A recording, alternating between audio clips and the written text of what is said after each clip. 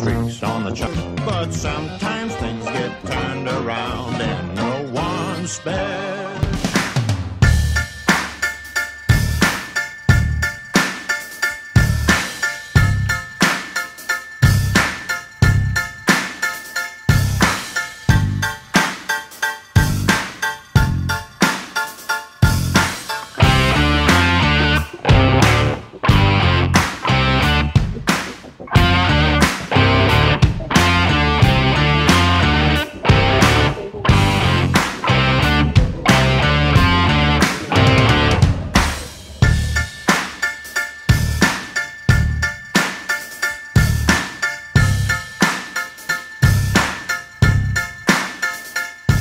Good morning everyone, how you doing? It's Paul here from Unusual Things. Now this morning we are in Brookwood Cemetery and we have come to find the final resting place of Christopher Hewett. Now he was an actor and he was in such things as Murder She Wrote, Hart to Hart. I'll tell you a little bit more about him real soon. Um, don't forget if you like the video today, please give it a thumbs up. If you haven't done so already, subscribe to the channel. It doesn't cost you anything at all, apart from a little bit of time of pressing subscribe. that's all it costs you. Nothing else, you have to pay for it. Um, and of course, leave your comments down below. If you remember Christopher as an actor, then I like to read your comments. If you don't know who he is and you learn something from today's video, then uh, also, you know, I like, just like to see what people have to say about the visits and whatever. And it's always good to expand a little bit. You know, I, I, know I've been to see some really big names, which has been fantastic, but it's good to find these other people that, you know, were actors or actresses or singers or whatever. Uh, and they went abroad and they done quite well for themselves, and then obviously they've come back here and been cremated or buried or whatever the case may be. Um, so it's not always about the big names, I don't think. I think it's good to have a variety of people in there but you know they've obviously made a success of their life in one way or another.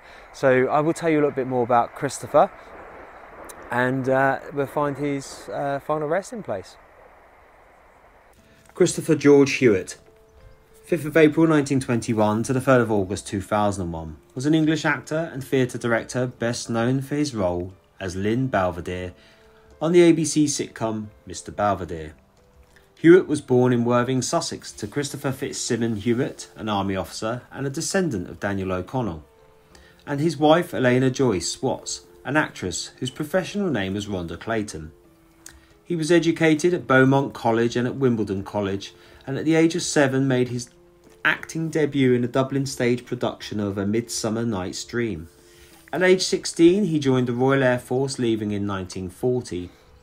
He then joined the Oxford Repertory Company and made his West End theatre debut in 1943. He later appeared on Broadway in the musicals My Fair Lady, First Impressions, The Unsinkable Molly Brown, Music Is and Kean, and in the plays Sleuth and The Affair, among others. And directed the 1960 Broadway revue From A to Z and the 1967 off Broadway revival of the Rodgers and Hart musical by Jupiter. Hewett also directed several stage productions, including The Marriage Go Round and Beyond the Fringe and Camelot. He made his film debut in the crime drama Pool of London 1951 and later appeared in roles on Robert Montgomery Presents and DuPont Show of the Month.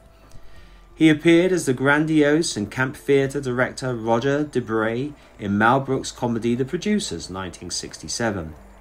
In 1976, Hewett played the generic bureaucrat Fedorov in the short-lived sitcom Ivan the Terrible. During the 1979 to 1980 season, he played Captain Hook to Sandy Duncan's Peter Pan on Broadway. From 1983 to 1984, he portrayed Lawrence, Mr. Rourke's sidekick on the final season of the ABC series Fantasy Island. The following year, Hewett landed his best known role as Lynn Belvedere, an English butler who works for a middle class American family, in the sitcom Mr. Belvedere.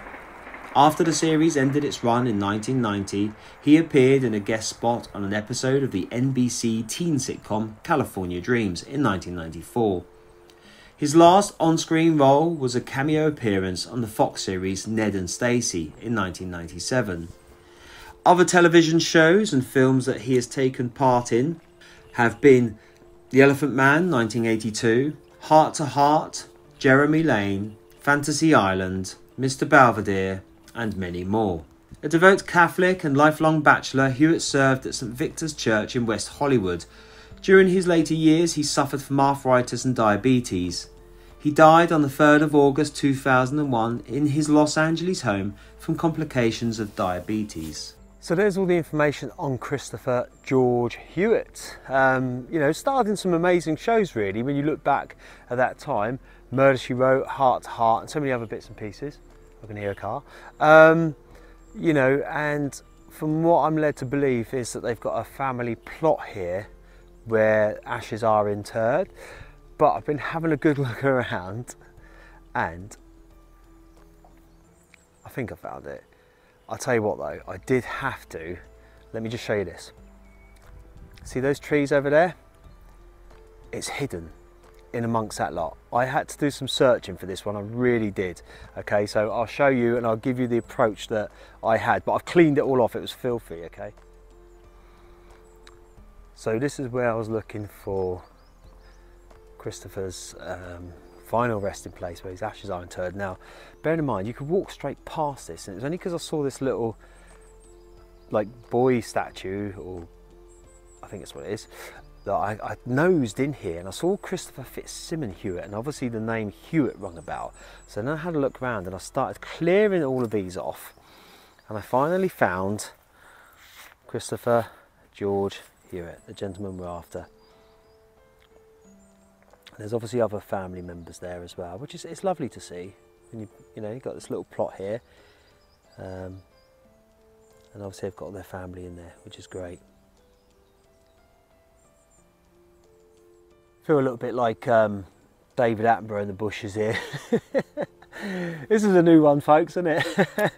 Paying our respects today to Christopher George Hewett. Um, you know, he went to the States, he done his thing, he come back, bless you, thank you so much um, for your contribution towards entertainment and uh, yeah there we have it. What a um, unusual place to have your ashes interred. It's just like a little it's like their own little family plot. And I love that because it's just unless you knew that's just completely out the way isn't it? Um, and what's great about Brookwood is that they have signs saying, like this one here, notable grave, look. um, Carroll Gibbons. And then, and then of course there's uh, born in Massachusetts. You know, we, you know, I'm not looking into that one today, but there's a QR code on there. So you can go and read the history on the people on notable graves. And this place, like I say, it's the first time I've been here. Um, it's full of them.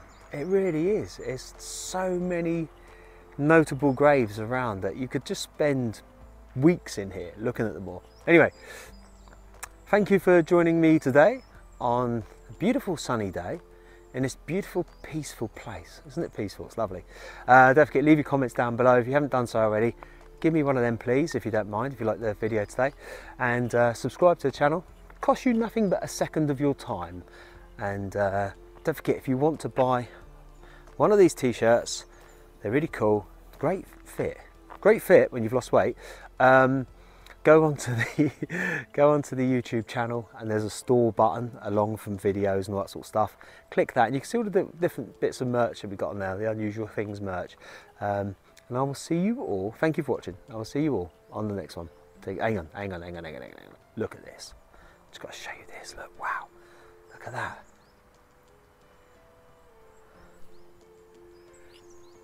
Could you imagine if you were walking along in here at night time and you just saw that next to a cross?